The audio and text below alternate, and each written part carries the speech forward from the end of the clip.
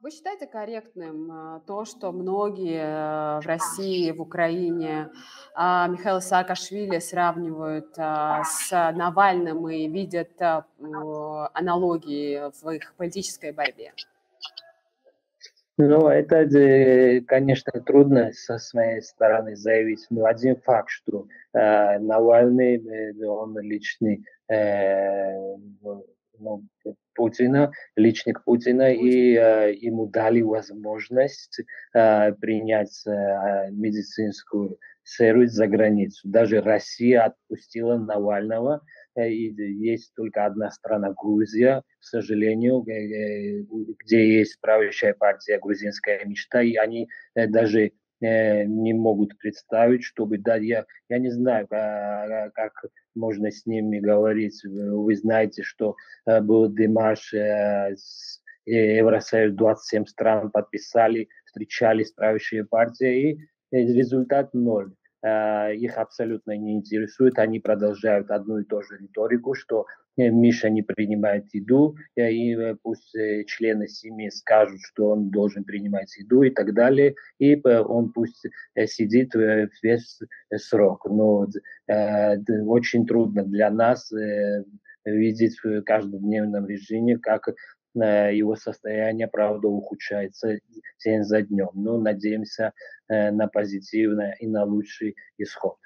Скажите, каково его моральное состояние? Потому что в одном из э, публикаций в Фейсбуке он пишет, что а, мне кажется, никого уже, никто уже не сомневается в том, что я не найду а, справедливости. А, считаете ли вы, что он, может быть, э, в какой-то мере уже разочаровался во всем этом процессе? Или он все-таки держится? Не, не, он, конечно, держится, э, он надеется на будущее. Миша, вы знаете, что очень известный политик, э, он э, точно не, не может по-другому. И мы уверены, мы надеемся, что результат будет позитивный. И главное для нас, для семьи, для брата, чтобы мы видели его здоровым, а остальное пусть сам он решает. Мне трудно с, с, с стороны Миши говорить, обсуждать вопросы политические, конечно. Э, для нас главное, чтобы он выжил. И э, мы верим, что этот кошмар закончится один прекрасный день, потому что вы э, видите, он приехал в Грузию полтора года тому назад, и каждый день э, только плохие известия э, про Мишу. Но все время э, плохое э, меняется к лучшему. Всегда это так. Он также заявил в одном из интервью, что его выманили в Грузию и сделали это связанное с Россией силой. Есть ли у вас какая-то информация по этому поводу? И вообще, что вы думаете о, о его приезде в Грузию, об обстоятельствах этого приезда?